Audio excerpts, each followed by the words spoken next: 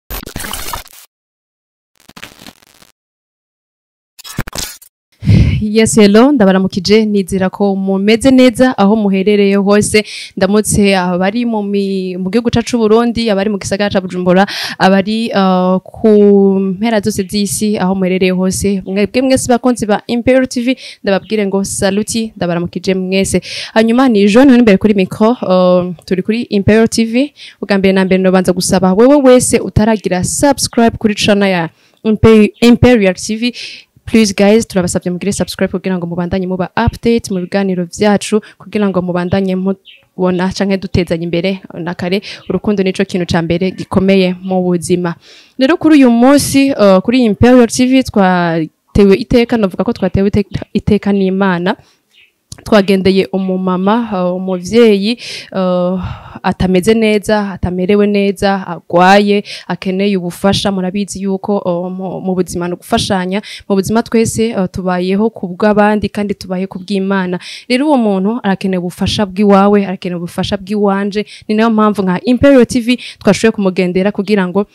ashobora kutubwira ingorane afise uko abayeho n'icyo akeneye gufashwa turakuramukije ndabarangije cyane rwose umeze neza ndameze neza cyane uh, abari kubadukurikirana kuri imperial tv bashobora kubabwira nide tuko turavugana cyane nide turi kumwe njyewe mu bisanzwe nitwa uwimana aisha nabashaka yuko mufasha naravunitse ukuguru ku buryo navunitse navunitse biciye ku kubwo k'umugabo twubakanye twarashwanye arankubita ankubita ikintu ubucaka bw'igitanda arantera umugere nca ndagwa hasi nca ngakwa kwibuye nca ndavunika asubira kandi arankubita ikindi giti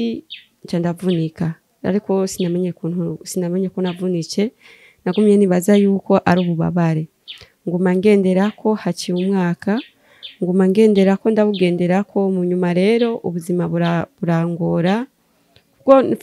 dufitaniye abana babiri nije ndabafasha ndagerageza ubwo bwo bwose kugira ndabe ko abana babaho kubera nta kuntu nari kubaho abana atakibafasha burya rero haragera igihe ubuzima burangora ndagenda ahantu ndahaba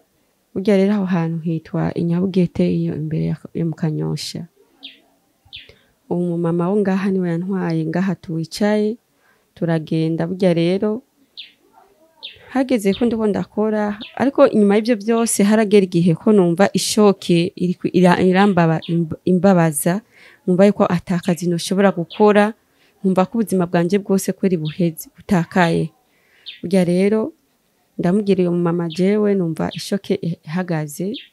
ntakuntu ushobora gukora akazi uyu mama rero ntacyo ambwira ati niwihangane ubanze kubanza uhagarike akazi kugira ngo uzokora akazi kugira ngo wumve wiyumvirize ukuntu bimeze burya rero niho nahaguruka ngomba njya kuryama ncanumva ibizunguzungu byinshi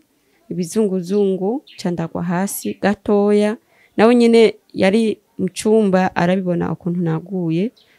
arambwira ati nibiki yumva ndiko ndavuza induru ashavuga ati nibiki ndavuga ndaguye ariko nanguye numva umenga meze nabi muri uyu mwanya uheze nonaciye haheze amasaha atatu abiri nk'atatu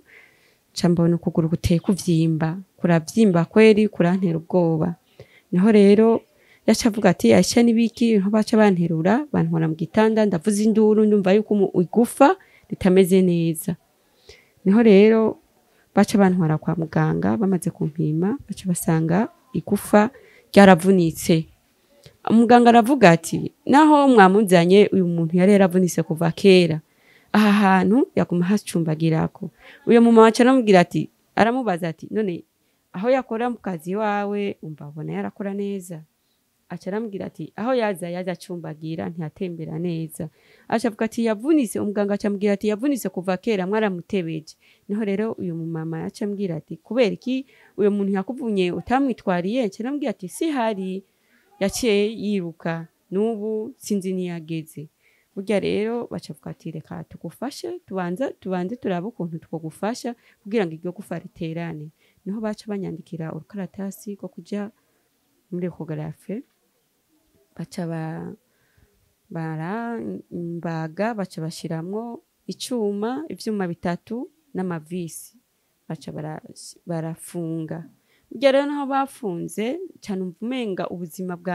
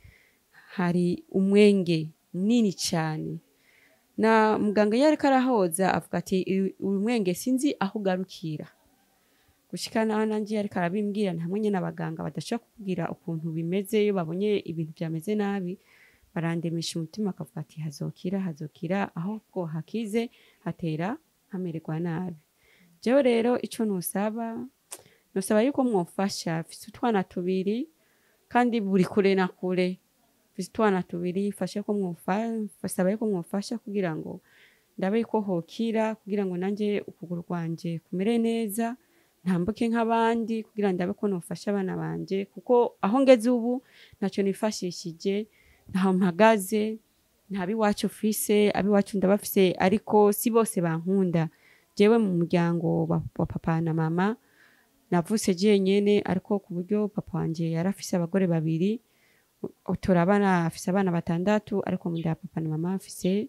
ngende umwana umwe ariko ku buryo ubu ndicaye ngaha papa wanjye yarapfuye na mama wanjye yarapfuye narezwe na bibi kubwo nicaye aha no ngaha ni umubyeyi yanyatse yanyakiriye kugira ngo mbe ngaha mbe ndicara si nturature mbure aho mbure aho abana bicara rero icyo nashabona sakamufashe kugira ngo nanjye ndabe yuko ni ukwicara numererwa neza nuronke ikifashisha kugira ngo ukuguru kwanjye kukire nandonke nico ico fashisha abana banje mm. oh, tubibutse yuko turi mu buterere ku nimero mirongo ibiri n'imwe nibyo Eh, turi mu butere ku nimero mirongo ibiri n'imwe aho ayisha asanzwe asabye indaro muri kino gihe yababwiye neza yuko atakibana n'umugabo wiwe kandi atafise ahaba yatse indaro mu buterere ku nimero mirongo ibiri n'imwe bakora dukurikira ayisha bashobora kuba bipfuza kumenya mbega yavuze ko yavunitse igufa yavunitse hehe yavunitse amaja hehe navunitse mu iteraniro ry'itako oh, hafi yo mu mafyigo aha mu iteraniro ry'itako niho navunitse ni ukuguru kumwe cyangwa ni yose kuko nabonye kugutambuka ko bidakunda gutambuka eh, ni nk'amaguru yose kubera muganga igihe nagenda kwa muganga bambwiye yuko batoshobora kuyabaga yose barindira kugira ngo kuguterane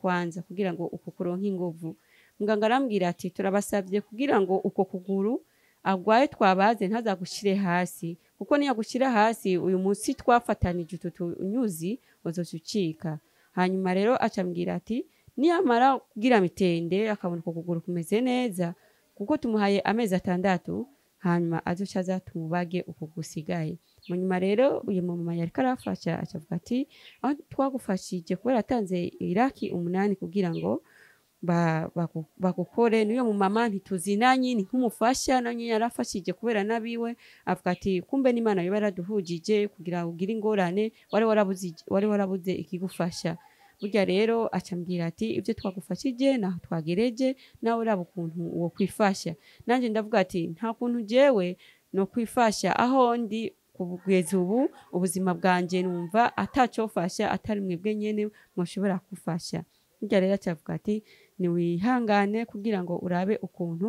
wogira uburyo ubwo aribwo bwose urondera abantu bagufasha jyewe aho ndagufashirize je naho nyene nanjye ndamuha agashimwe ndamushimira ndavuga ati nta kuntu jewe nzobukunda gushimira nzogusabira imana kugira ngo iguhezagire ku byo wafashije byose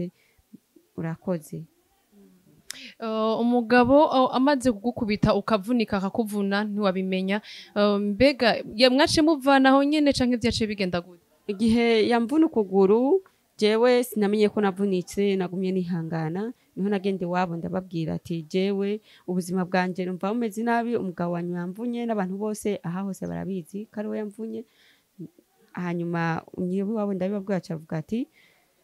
ntiwihangane kama kukuvuza tuzakuvuza ariko ab'iwabo baranyeretse imiti y'ikirundi ndagerageza biranka naho rero naca mvuga ati ko byase nta kundi ni iby'imana imana izo bikora ndasiko nzokira burya rero nguma ndakugendera ko ndakugendera ko kumbuko nguma ndakugendera ko niko amagufa atera yononekara burya rero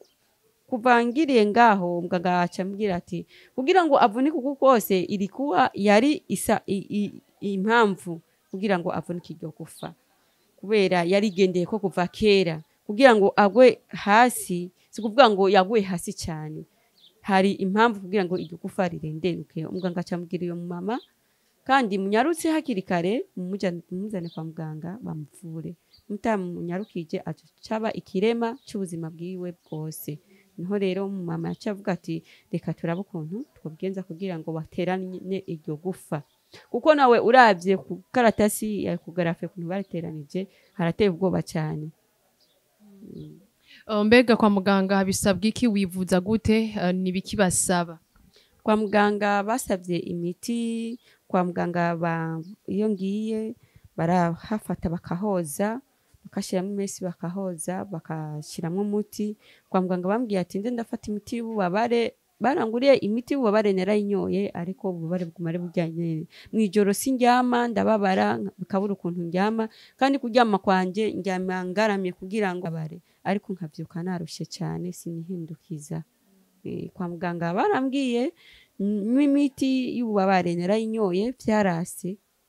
mm. none bon nabajije hasabwa iki kugira ngo ushobore kuvuzwa eh, mbega wivuza mu buryo amafaranga utanga amafaranga angana gute eh, ni iki gisabwa kugira ngo abantu bashobora kugufasha cyangwa umuntu yumva yifuza kugufasha gufasha gute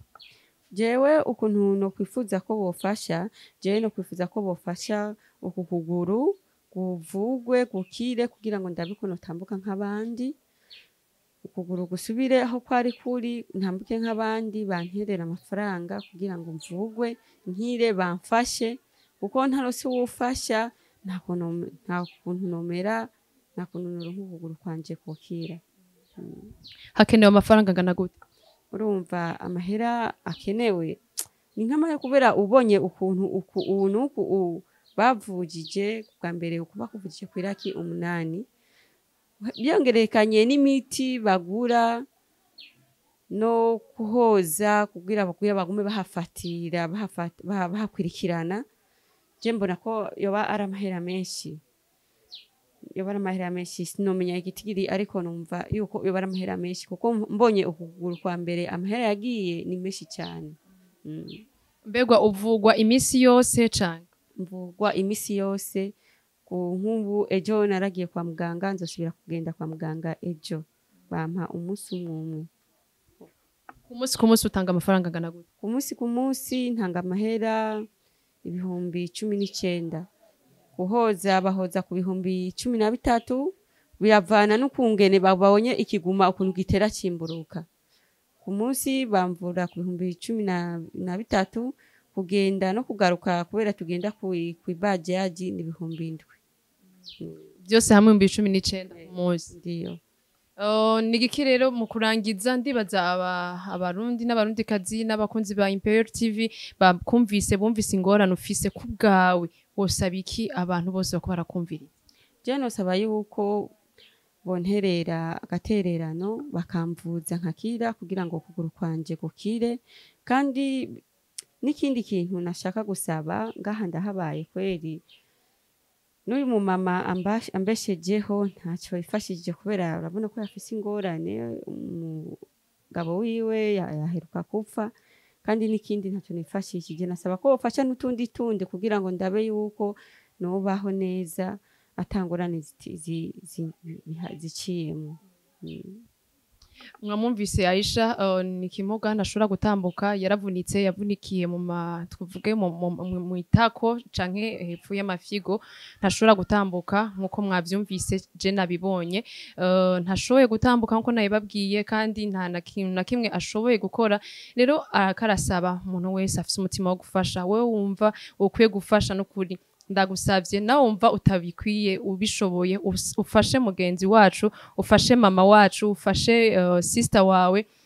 umufashe nka mwene wanyu nk'umurundi mwene wanyu nawe tubura umurundi gerageza umufashe kuko ararushe arakeneye gutambuka arakeneye kurera abana biwe abaye ahantu bamutunze kandi murabizi gutunga umuntu w'umumama atacu ariko arakwinjiriza si ibintu byoroshe niyo mpamvu adusabye uh, ushoboye kumutera kugira ngo ashobore kuza arivuza mu muterere mumufashe mufashe tumushigikire twese uh, abashoboye kumufasha mu byo gufungura nk'uko mwabyumvise nkivanye n'aho abaye mugerageze mu mufashe uko mubishoboye kose ni ukuri ndabasabye n'ukuri ndabasabye ndabinginze umuntu wese yumva ko afise umutima wo gufasha ashobore gufasha yisha amufashe kugira ngo ashobore kubandanya ubuzima murabizi umuntu agirwa n'uwundi twese tubahe ku bw'abantu rero nawe ufashwe kuko nawe warafashijwe nukuri habanje gushimira umuntu wese umuntu wese agiye gufasha Aisha agiye kugira icyo akoze kugira ngo ubuzima bwa Aisha bubandanye bugenda neza abandanye abaho neza rero umuntu yifuza kumufasha arashobora kurungika kuri limikashi mirongo itandatu n'icenda Uh, amajana indwi na kabiri ijana na mirongo ibiri na rimwe mirongo itandatu n'icenda mirongo indwi uh, mirongo ibiri na rimwe uh, mirongo ibiri na rimwe soixante-neuf septante venteye venteye rero umuntu yumva ko ashobora gufasha ayisha azocisha kwiyo nimero canke muzo musange mu buterere nimero venteye ni mu buterere nimero venteye nta kundi kuntu twahavuga kugira bashobora kuhamenya nawe wahavuga mu giswahili nta na kimwe eh, mu giswahili ahantu hitwa iruhande y'umusigiti witwa shafi mm. ku ibarabara rya mirongo ibiri nimero cumi na zibiri ah, ni mu buterere ku ibarabara rya nimero ni mu buterere ku ibarabara rya mirongo ibiri nimero cumi na zibiri ku kabarabara ka mbere ntibatse ko mwabyumvise abantu mudashobora kubikora kuri rimikashi mwifuza gushika cyangwa kumushikira muza mu buterere ku ibarabara rya mirongo ibiri nimero cumi na zibiri ku kabarabara ka mbere haroroshe hegeranye n'umusikiti rero abantu mwifuza kumufasha mugerageze n'ukuri ntibigoye uko mushoboye kose mushobore kumufasha mwoba mukoze imana yo mu ijuru niyo izobahemba yonyine ayishaka tugushimire cyane murakoze cyane namwe imana ibahezagire kubona mwangendewe uno